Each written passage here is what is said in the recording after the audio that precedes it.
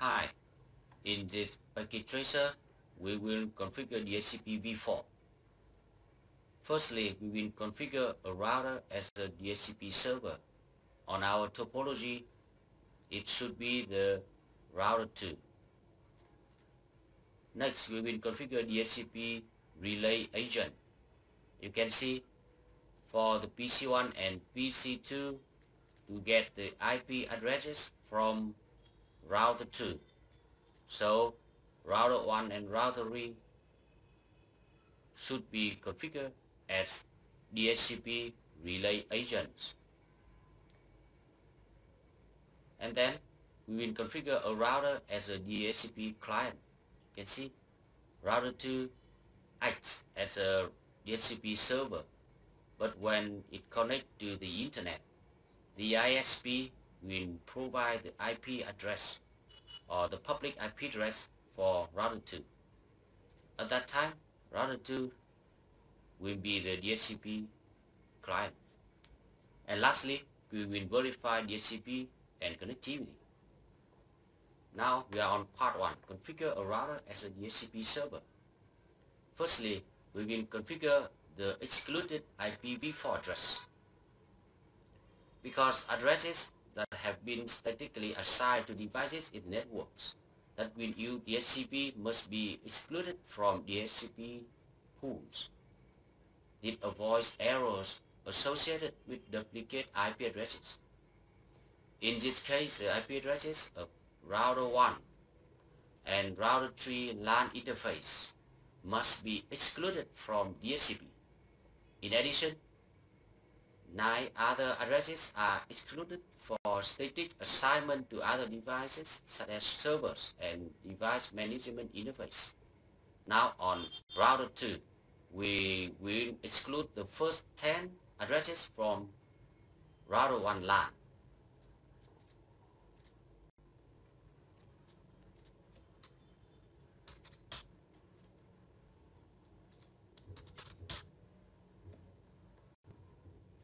On the configuration mode. We use command IP DHCP excluded address. The LAN from router 1 is from 192, 168, 10, 1, 2, 192, 168, 10, dot 10. And now we will configure uh, route 2 to exclude the first 10 addresses from router 3 LAN. Let's check for the IP address 30. So we need to change 30 and 30. On step 2, we will create a DHCP pool on router 2 for the router 1 LAN. The command is IP DHCP pool. And the name router 1 LAN. And we will configure the pool to include the network address network.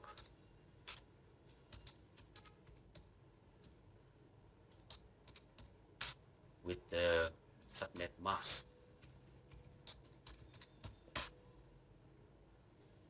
And then the default gateway. Default routers. And the DNS server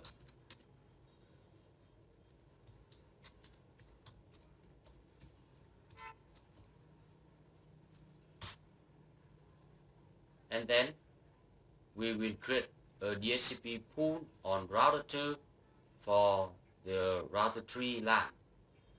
You can do it yourself because it is a similar task like uh, configuring for the router 1 LAN.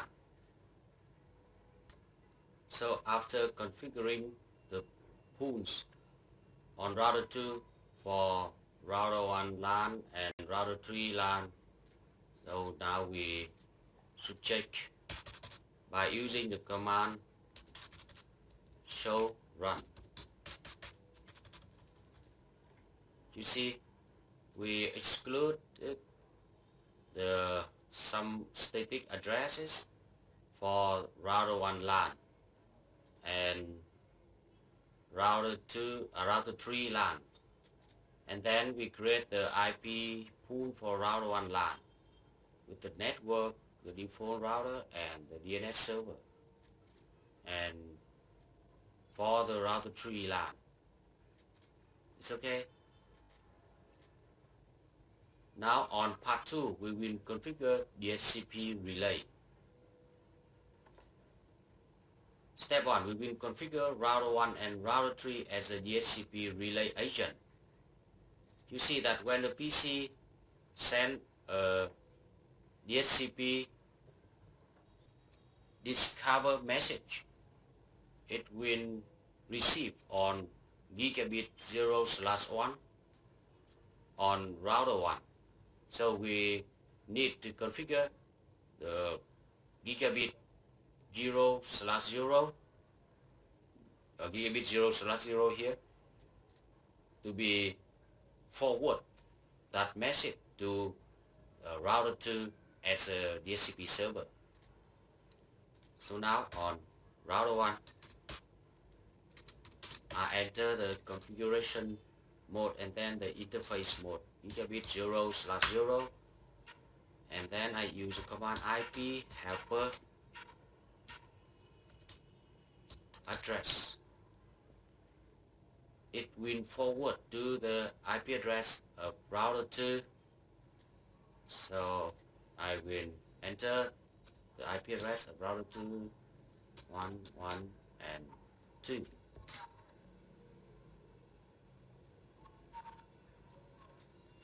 And on router 3, we do the same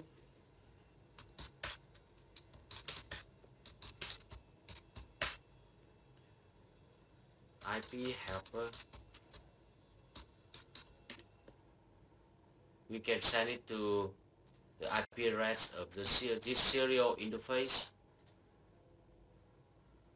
So let, us have a look at the IP address of the serial interface on router 2 0 slash 0 slash 1 is 10222 10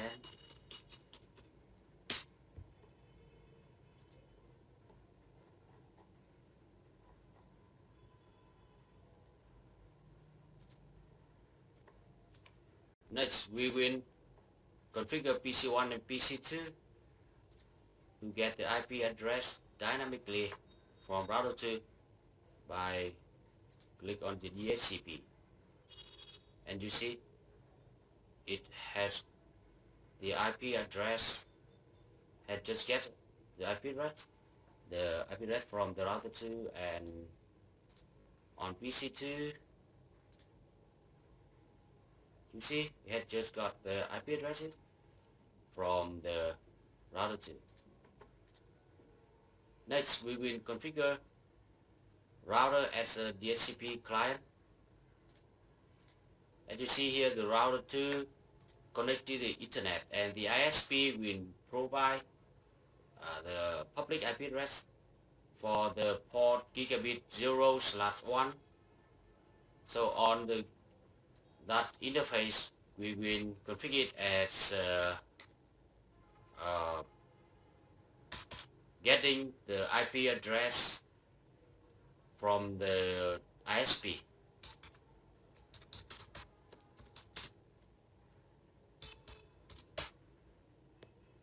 IP address DHCP no shutdown To verify the IP address on this interface, we will enter the command do show IP interface brief. You see here the gigabit 0 slash 1 unassign DHCP up. 0 slash 1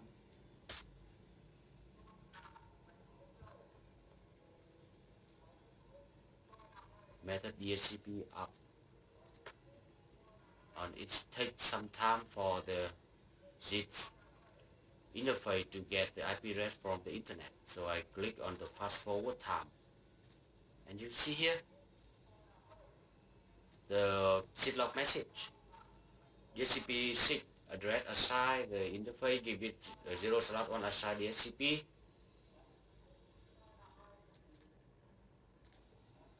and then we can check it for in here.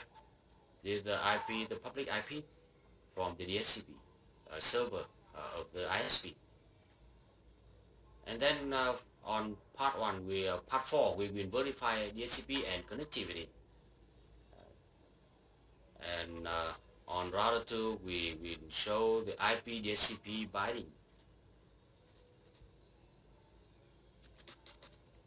show the HCP binding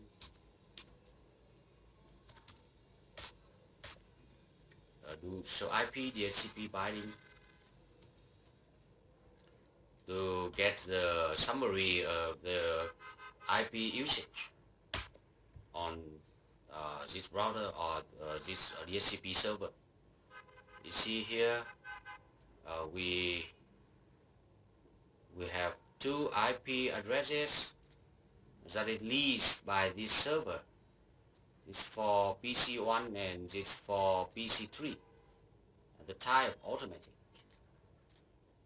And the PC2, uh, PC1 and PC2 can now ping to each other on PC1 ping